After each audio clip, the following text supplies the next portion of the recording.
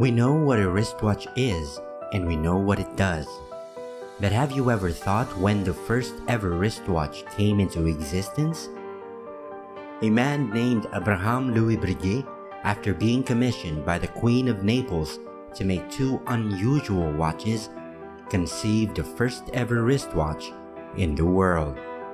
On the 8th of June 1810, the Queen of Naples, Caroline Murat, sister of Napoleon Bonaparte, orders two unusual watches a grand complication carriage watch for 100 louis, plus a watch for a bracelet with minute repeater, for which she was quoted the price of 5,000 francs.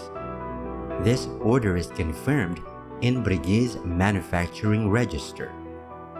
In Paris, where the historic archives of Maison Breguet are preciously conserved, the Register of Commissions, as they were already known, lists the special orders placed by customers. The Queen of Naples' order later became known as Breguet Watch Number 2639 and was finally completed on December 21, 1812. On March 8, 1849, Countess Rasponi had sent watch number 2639 for repair. The Countess Louise Murat born March 21, 1805, was the fourth and last child of Joachim and Caroline Murat.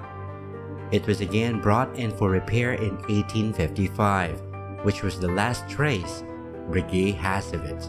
Today, the Queen of Naples' watch is nowhere to be found. The watch remains untraceable and no public or private collection lists the watch on its inventory. Unfortunately, no sketch of the watch has been found in the archives. Nevertheless, it is known that Abraham Louis Breguet made the world's first wristwatch for the Queen of Naples. At this point, we would like to thank the Swatch Group, Breguet.com, and InTheKnowPH.com. You can check out their links at the end of the video.